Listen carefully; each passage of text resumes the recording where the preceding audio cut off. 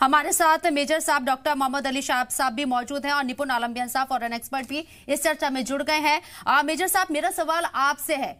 माजी में जंग हुई है इसराइल और फलस्तीन की, लेकिन ये जंग कितनी मुख्तलिफ़ है? इस बार की जो जंग है, सत्ताईस हज़ार के आसपास नौजवान हमास के पास 90 परसेंट जो फ़ीसद है नौजवानों का हमास की आर्मी के अंदर है, और इसराइल भी पूरी तैयारी के साथ ये जंग इसराइल जीतेगा, ये दावा इसराइल का। जी, आपने बड़ी अच्छी बात करी है और बहुत ही अच्छी तरीके से आपका जो जवाब है, बहुत इसी सवाल के अंदर भी है। देखिए, मैं आपको अपने माजी की बात करी तो मैं हल्का सा आपको, हल्का सा माजी में ले आता हूँ। लेट नाइनटीन सेंचुरी में तनाव थे इसराइल और फलस्तीन के, और मिड ट्वेंटी सेंचुरी में भी तनाव थे, बहुत आगे बढ़े थे। इसके बाद एक पब्लिक डिक्लेरेशन वो क्लेम हुआ था जूश होमलैंड इन पैलेस्टीन का, वो हुआ था फ़र्स्ट जर्नलिस्ट कांग्रेस 1897 में और फिर बेल्फोर डिक्लेरेशन 1917 में हुआ। अब उससे क्या हुआ? एक अर्ली टेंशन और क्रिएट हुए और इससे फिर जूश इमिग्रेशन जो है, उसमें तनाव आया। फिर वर्ल्ड वॉर वन के बाद एक मैंडेट आया पैलेस्टीन के साथ। उन्होंने एक और बात में आए। मगर फिर यूएन ने एक डिक्लेरेशन निकाला 1947 में। वो था United Nations partition plan for Palestine का डिक्लेरेशन और मगर वो इम्प्लीमेंट कभी हुआ ही नहीं। उससे क्योंकि वो इम्प्लीमेंट नहीं हुआ तो 1947 से लेके 1949 तक एक बहुत गंभीर एक जंग इन दोनों देशों में देखी गई, यहाँ पे हुई। उसके बाद फिर क्या हुआ कि वो जो करंट इसराइल और पैलेस्टीन स्टेटस क्यों तो जो था, वो और बिगड़ता चला गया। और फिर उसके बाद फिर इसराइल ने जो मिलिट्री ऑक्यूपेशन है, जो वेस्ट बैंक ऑफ़ गादा पट्टी जो है 1967 में एक छह दिन का युद्ध यहाँ पे हुआ। और वो भी बहुत ही गंभीर, भीषण युद्ध था। अब आप देखिए, जब ऐसा जब युद्ध हुआ माजी में तो हल्का सा प्रोग्रेस आया कहाँ पे? जब एक टू स्टेट सोल्यूशन जो इसको कहते हैं ओस्लो अकॉर्ड्स वो के 1993 से 1995 की बीच का ये पीरियड था। फिर फाइनल स्टेटस जो इशू हुआ, वो स्टेटस ऑफ़ जेरूसलम और और इजरायली सेटलमेंट्स के बाद में जो बॉर्डर सिक्योरिटी वाटर राइट्स जो पानी की, जो नदी की, उनकी राइट्स हैं, और इस तरीके से वो तय कर दी गई। लेकिन इसके बाद पैलेस्टीन के का फ्रीडम मूवमेंट भी शुरू हुआ, और उसके बाद फिर पैलेस्टीन का राइट ऑफ़ रिटर्न तो इस तरीके से तनाव बहुत आगे बढ़ता गया। अब आप देखिए, अब हम, मैं आपको ले जाता हूँ माजी से आज। अब आप देखिए, आज खबर आई कि जो हमास जो है, जो कि यूएन ने इनको आतंकवादी घोषित कर दिया है बैंड आउटफिट है ये। और आपने बताया सत्ताईस हज़ार से ज़्यादा लोग इसके अंदर हैं कि बिल्कुल तो ये थोड़ी चौंका देने वाली बात है। अल अक्सा मस्जिद के अंदर जो कि थर्ड पाए तकरीबन माना जाता है पूरे पूरे दुनिया में, यहाँ पे जो कुछ हुआ, सलूक, वो भी देखिए, किसी भी रिलीजियस स्थान में घुसना, किसी भी फौज का और फिर मिलिट्री करना, इसको मैं बहुत ही गलत मानता हूँ। चाहे चाहे रिलीजियस प्लेस मस्जिद हो, चाहे मंदिर हो, चाहे चर्च हो, चाहे गुरुद्वारा हो, चाहे सिनग हो, चाहे कहीं पे भी हो मगर ये जब हुआ तो हमस ने बोला, ठीक है, हम सबक सिखाते हैं।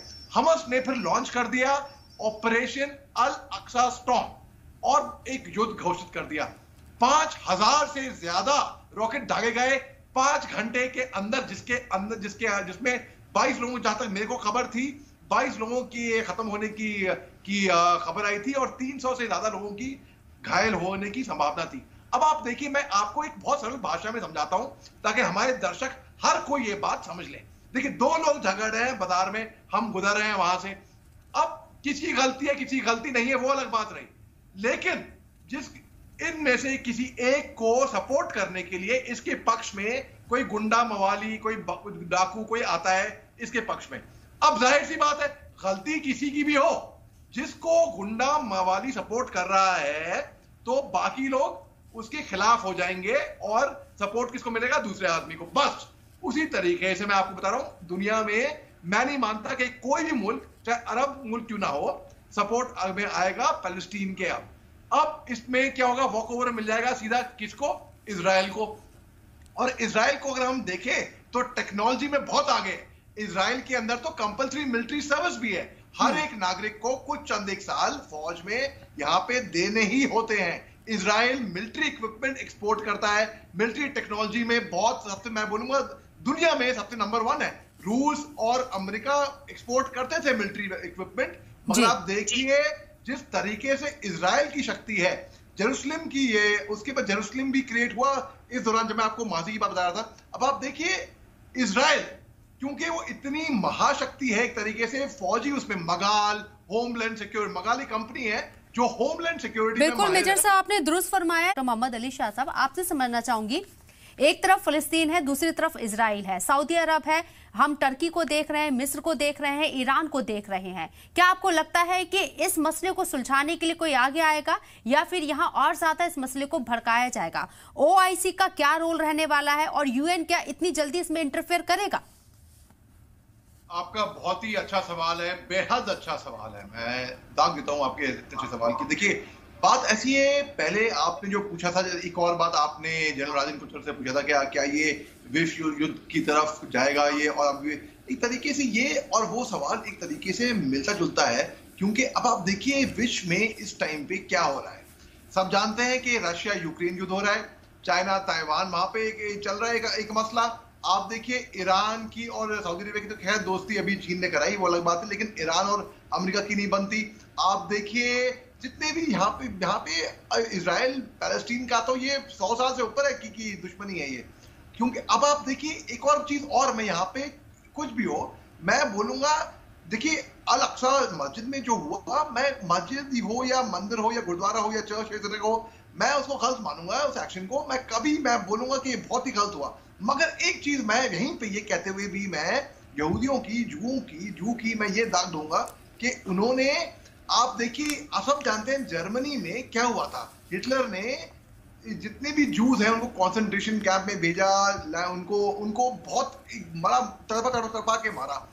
खाक से लिथड़े हुए खून से लिथड़े हुए, खाक से लिथड़े हुए, खून में नहलाए हुए पी बहती हुई, गलते हुए नसूरों से आप देखिए आप देखिए कहाँ से ये निकल कर कहा पहुँचे, ये इतने आगे बढ़ गए हैं। अब आप देखिए, बात ऐसी है, क्या इनको इसराइल को दुनिया भर से सपोर्ट मिलेगा? जी हाँ मिलेगा। क्या फिलिस्तीन को सपोर्ट मिलेगा? नहीं, बिल्कुल नहीं मिलेगा।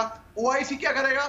ओआईसी भी मजबूर होगा यहाँ पे इसमें। आप तुर्की के देख लीजिए, आप मिस्र की बात कर लीजिए आप आप आप कहीं किसी भी मुल्क की बात कर लीजिए, आप कुड्स की बात कर लीजिए लेकिन कोई भी यहाँ पे मुझे दिखता नहीं, आके फलस्तीन के सपोर्ट में आ पाएगा, क्योंकि बात बहुत सरल है, क्योंकि हमस एक टेररिस्ट ऑर्गेनाइजेशन है और टेररिस्ट टेररिस्ट ऑर्गेनाइजेशन ने इनके बिहाफ पे आवाज़ उठाई है, इनके बिहाफ पे हरकत करी है और इसराइली प्रेसिडेंट को तो हम सब सब समझ चुके हैं वी आर एट वॉर यानी कि अब ये युद्ध घोषित एक तरीके से हो चुका है और इतना गंभीर भीषण ये है हाँ विश्व युद्ध जब हम बोल रहे हैं, बोले जैसे कि जनरल साहब ने भी समझाया था कि यानी कि सारे मुल्क आके भाग ले रहे हैं। अगर ऐसा, मैं एक हाइपोथेटिकल सिचुएशन बता रहा हूँ, मैं आपको, मैं नहीं कह रहा कि होगा या नहीं होगा, एक हाइपोथेटिकल सिचुएशन अगर कभी ऐसा हो भी कि पूरे मुल्क के, पूरे देश के लोग जुड़ जाए,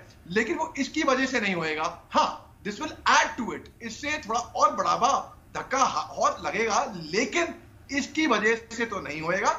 मगर जिस तरीके से अभी देश के, दुनिया के, माफ़ कीजिएगा, दुनिया के हालात हैं तो उस तरीके से आप देखिए, पिछले दो विश्व युद्ध की बात कर लेते हैं, वो भी कैसे हुआ? एक असैसिनेशन से शुरुआत हुई, एक चिंगारी से शुरू हुई, और कैसे आग लग? गई ओआईसी ज़्यादा कुछ इसमें कर नहीं पाएगा।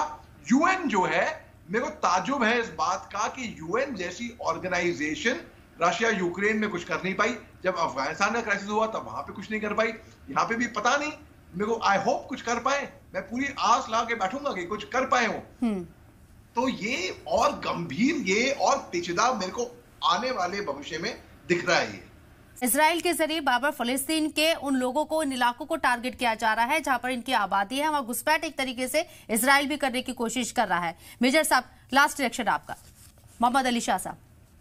जी। आपने दो स्टेट सोल्यूशन की भी बात की थी पहले तो मैं एक की बात कहूँगा कि जो इसमें बात ऐसी कि एक माइनॉरिटी है, एक तबका है, जो कि जूश इसराइली हैं, वो 32 परसेंट आएँगे, वो सपोर्ट करते हैं टू स्टेट सोल्यूशन पैलेस्टीन के साथ। इसके अलावा इसराइली जूज हैं, जो डिवाइडेड हैं, जो बटे हुए हैं अलोंग आइडियोलॉजिकल लाइंस और बहुत फेवर करते हैं मेंटेनिंग वो स्टेटस को को को सपोर्ट करते हैं। फिर तकरीबन 60 परसेंट है फलस्तीनी जिसमें से 70 से आप बोलिए तकरीबन 77 परसेंट जो गाजा में है है? गाजा स्ट्रिप गाजा पट्टी के अंदर है और 46 परसेंट है जो कि वेस्ट बैंक के अंदर है।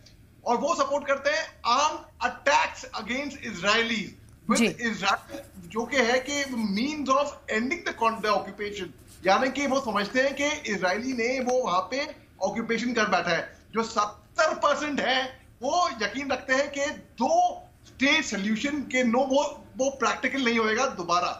तो इसके वो इसमें प्रैक्टिकल नहीं, नहीं नज़र आती उनको। तो इसमें क्या होता है अगर हम पूरा गणित निकालें तो देखिए टू थर्ड इसराइली जूस जो है होंगे वो कहते हैं कि वेस्ट बैंक को एनेक्स किया था। इसराइल ने पैलेस्टीन जो है पैलेस्टीन रेजिडेंट जो है बिल्कुल। ये ये त, ये तमाम चीज़ें बनी हुई हैं और क्या आज जो जंग शुरू हुई है इसराइल ने तस्लीम किया है कि ये जंग है और हम जंग के अंदर हैं। क्या ये जंग खत्म हो पाएगी? मसले का हल निकल पाएगा किसी जंग से? या फिर बातचीत पर ही इन लोगों को आना होगा इन दोनों खितों को? बहुत बहुत शुक्रिया आप लोगों का चर्चा में शामिल होने के लिए अपना कीमती वक्त देने के लिए।